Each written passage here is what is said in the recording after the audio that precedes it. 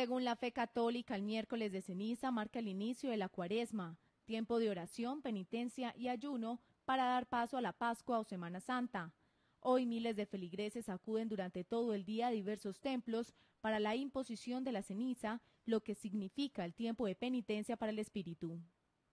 El significado del miércoles de ceniza es primero abrir un itinerario, un camino que durante 40 días es lo que indica pues el tiempo de cuaresma, vamos a proponernos a través del ayuno, la limosna, la oración, hacer el bien, hacer obras de caridad, ejercer en nosotros pues los principios del amor al hermano, para poder en la Pascua, que es ya lo que llamamos Semana Santa, en la fiesta de la muerte, resurrección, en la pasión del Señor, poder vivir la vigilia con toda la intensidad de la vida nueva.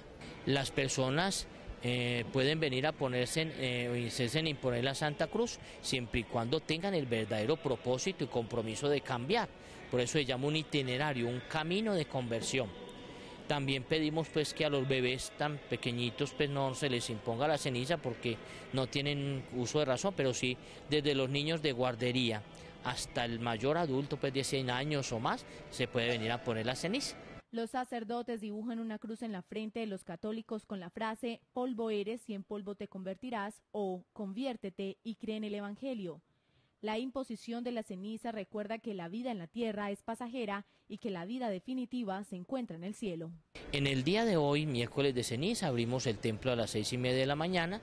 Estamos en la misa estuvimos la misa de 7, 8, 9 de la mañana. En este momento se le está imponiendo la ceniza a los feligreses. Tendremos misa de 12 del día y estará abierto el templo pues todo el día hasta las 8 de la noche. Misa de 6 y de 7 de la noche.